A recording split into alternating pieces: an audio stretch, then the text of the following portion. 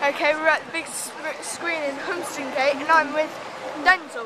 Denzil, what was your views about the big film, big um, picture of Citizen's Eye up there? Oh yeah, it was uh, it was really good. Haven't seen the Citizens Eye that Citizens Eye logo that big before, but uh, yeah, it was really good.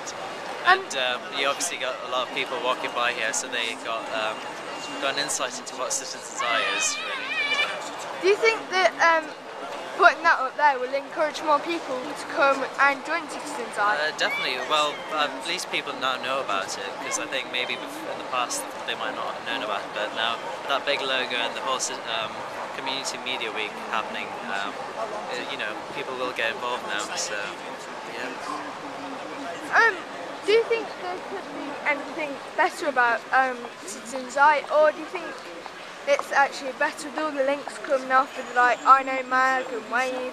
Do you think that there's anything else that could come off it? Uh, anything else? Uh, I don't know. It's pretty much good. It's good for everything. There's, um, you know, there's um, links to photos. There's links to the iPadio.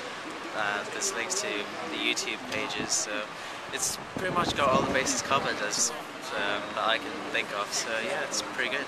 Okay, thank you very